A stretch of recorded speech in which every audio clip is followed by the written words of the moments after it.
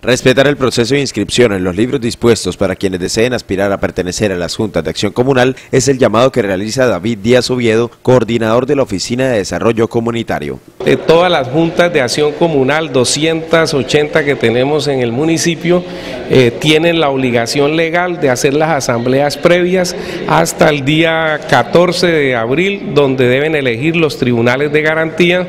pero eh, hasta el día 21 están abiertos los libros para que la gente se pueda afiliar, para poder votar y para poder también ser elegidos. El pronunciamiento lo realizó luego de conocer que algunas personas estarían dando manejo inadecuado durante el proceso, coartando la participación. Tenemos dificultades en algunos barrios todavía donde los presidentes siguen con los libros guardados, no quieren posibilitar que la juventud que las mujeres, que la comunidad en general en estos barrios se inscriban y puedan participar. Por eso el llamado hoy por este medio de comunicación es a todas las juntas de acción comunal que abran los libros y que posibiliten que este 29 de abril podamos tener una gran fiesta comunal, una gran participación de la comunidad de Barranca Bermeja porque necesitamos fortalecer y devolverle la dignidad a todos los líderes de Barranca. Mañana en el auditorio de la Central Integrada se darán cita a todos los líderes de la ciudad en un foro comunal organizado como antesala a las elecciones que se llevarán a cabo el próximo 29 de abril.